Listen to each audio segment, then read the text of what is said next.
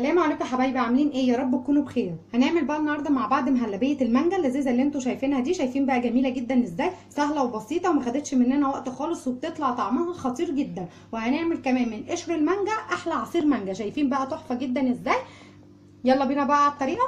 أول حاجة هجيب بقى المانجا وهبدأ أقطعها معايا بالشكل اللي أنتوا شايفينه دوت.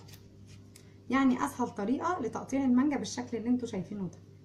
نعملها كده بالشكل ده. وهبدأ بقى أطلعها كده بالمعلقة. شايفين بقى سهلة وجميلة جدا إزاي؟ أهي.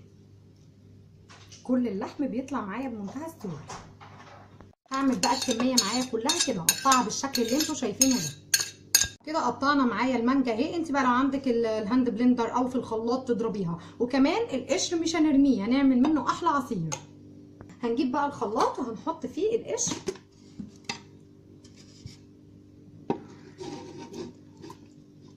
وهضيف بقى نص كوباية من السكر وكوباية من المية الساقعة طبعا. اضربهم بقى كويس جدا.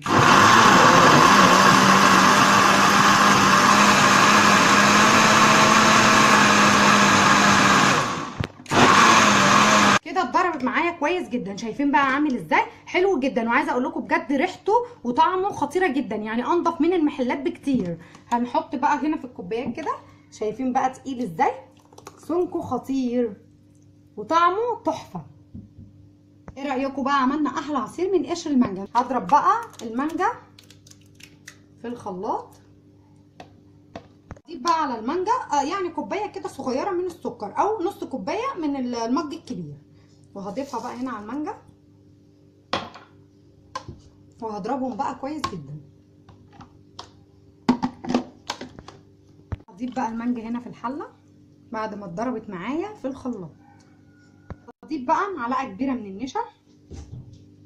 وهقلب بقى كويس جدا كده على البارد الأول. يعني معلقة كبيرة كده حلو جدا لأن هي المانجا معايا ما ضفتلهاش مية فتقيلة معايا. كده قلبت بقى المانجا كويس جدا زي ما أنتم شايفين كده ما بقاش فيها أي تكتلات خالص. ورفعتها بقى على النار مع التقليب المستمر كده لحد ما تتقل معايا كده سنة. زي ما أنتم شايفين كده. طبعا مش مكتره لها المية هتتقل معانا على طول. كده بقى القوام اللي إحنا عايزينه. شايفين بقى تقيلة خالص معايا إزاي؟ اهي هنضيف بقى عليها آخر حاجة كيس من الفانيليا. ونقلب بقى الفانيليا كده كويس جدا مع الماء شايفين بقى بقت مهلبية جميلة وطعمها حلو وسهلة وسريعة ما خدتش مننا وقت خالص. وبتطلع طعمها تحفة في الآخر. تمام كده معايا. كده القوام اللي إحنا عايزينه. شايفين بقى تقيلة وجميلة جدا إزاي؟ هطفي بقى عليها ونغرفها مع بعض. هجيب بقى عندي الكاسات أو الإطباق اللي انت هتحطي فيها. أهم حاجة بس تكون مغسولة كويس جدا ومتنشفة من المية. تماما. وهبدأ بقى نغرف المهلبية اللذيذة بتاعتنا دي. بالراحة كده.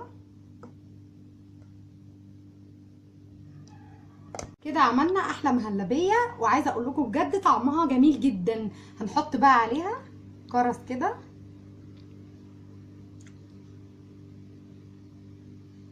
في النص يبقى شكلها آه حلو يعني في الآخر. الولاد كده تفرح بيه. شايفين بقى شكلها جميل جدا إزاي؟ إيه رايكم بقى في الجمال ده؟ من كيلو ونص مانجا عملنا مهلبيه مانجا شكلها جميل وطعمها تحفة وعملنا كمان من القشر بتاع المانجا أحلى عصير. إن شاء الله بقى تجربوا الطريقة ديت وتعجبكم جدا وأتمنى لو أول مرة تشوفي قناتي دوسي like واشتراك للقناة وتفعيل زر الجرس عشان يوصلك كل جديد بإذن الله.